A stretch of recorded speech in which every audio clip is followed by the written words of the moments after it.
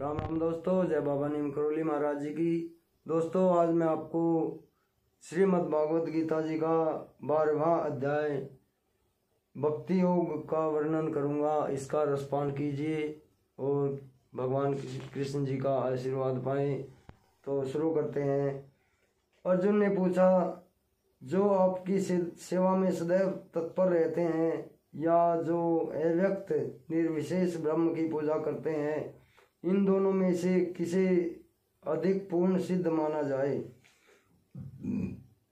श्री भगवान ने कहा, जो लोग अपने मन को मेरे साकार रूप में एकाग्र करते हैं और अत्यंत श्रद्धापूर्वक मेरी पूजा करने में सदैव लगे रहते हैं, वे मेरे द्वारा परम सिद्ध माने जाते हैं। लेकिन जो लोग अपनी इंद्रियों को वश में करके तथा सबों के प्रति संभाव रखकर परम सत्य की निराकार कल्पना के अंतर्गत उस अव्यक्त की पूरी तरह से पूजा करते हैं, जो इंद्रियों की अनुभूति के परे है, सर्वव्यापी है कल्पनीय है, अपरिवर्तनीय है, अचल है तथा ध्रुव है। वे समान, वे समस्त लोगों के कल्याण में संलग्न रहकर अंततः मुझे ही प्राप्त करते हैं। जिन लोगों के मन परमेश्वर के अव्यक्त निराकार स्वरूप के प्रति आसक्त हैं। उनके लिए प्रगति कर पाना अत्यंत कष्टप्रद है। देहधारियों के लिए उस क्षेत्र में प्रगति कर पाना सदैव दुष्कर होता है। जो अपने सारे कार्यों को मुझ पर अर्पित करके तथा अविचलित भाव से मेरी भक्ति करते हुए मेरी पूजा करते हैं और अपने चित्तों को मुझ पर स्थिर करके निरंतर मेरा ध्यान करते हैं, उनके लिए हे पार्थ मैं जन्म मृत्यु के सागर शीघ्र ही उद्धार करने वाला हूँ। मुझ भगवान में अपने चित्त को स्थिर करो और अपनी सारी बुद्धि मुझमें लगाओ। इस प्रकार तुम निसंदेह मुझमें सदैव वास करोगे। हे अर्जुन, हे धनंजय, यदि तुम अपने चित्त को विचल भाव से मुझ पर स्थिर नहीं कर सकते तो तुम भक्ति योग के विधि विधानों का पालन करो। इस प्रकार तुम मुझे प्राप्त करने की चाह उत्पन्न करो। यदि तुम भक्ति योग के विधि विधानों का भी अभ्यास नहीं कर सकते तो मेरे लिए कर्म करने का प्रयत्न करो, क्योंकि मेरे लिए कर्म करने से तुम पूर्ण अवस्था सिद्धि को प्राप्त होगे। किंतु यदि तुम मेरे इस भावनामृत में कर्म करने में असमर्थ हो तो तुम अपने कर्म के समस्त फलों को त्याग कर कर्म करने तथा आत्म स्थित होने का प्रयत्न करो। यदि तुम यह अभ्यास नहीं कर सकते तो ज्ञान के अनुशीलन में लगाओ।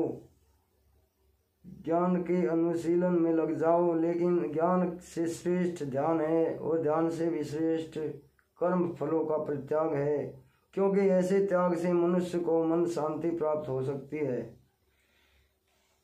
जो किसी से द्वेष नहीं करता, लेकिन सभी देवों का, सभी जीवों का दयालु मित्र है, जो अपने को स्वामी नहीं मानता, मिथ्या अहंकार से मुक्त है, जो दुख सुख में संभाव रहता है सहिष्णु सदैव आत्म संतुष्ट रहता है आत्म संयमी रहता है। तथा जो निश्चय के साथ मुझमें मन तथा बुद्धि करके भक्ति में लगा रहता है, ऐसा भक्त मुझे अत्यंत प्रिय है।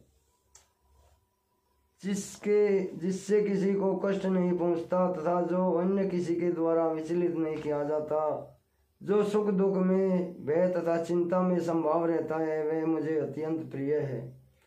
मेरा ऐसा भक्त जो सामान्य कार्यकलापों पर आश्रित नहीं है जो शुद्ध है, दक्ष है, चिंता रहित है, समस्त कष्टों से रहित है, और किसी फल के लिए प्रयत्नशील नहीं रहता, मुझे अतिशय प्रिय है। जो न कभी हर्षित होता है, जो न शोक करता है, न ही पछताता है, वो न ही इच्छा करता है, तथा जो सब शुभ और अशुभ दोनों प्रकार की वस्तुओं का परित्याग कर देता है, ऐसा भक्त मुझे अत्यंत प्रिय है। जो मित्रों तथा शत्रुओं के लिए समान हो, जो मान तथा अपमान, शीत तथा गर्मी, सुख तथा दुख, यश तथा अपयश में संभाव रखता है, जो दूषित संगति से सदैव मुक्त रहता है, जो सदैव मौन तथा मौन और किसी को, किसी भी वस्तु से संतुष्ट रहता है, जो किसी प्रकार के घर बारी की परवाह नहीं करता, जो ज्ञान में दृढ़ है और जो भक्ति में संलग्न है ऐसा पुरुष मुझे अत्यंत प्रिय है।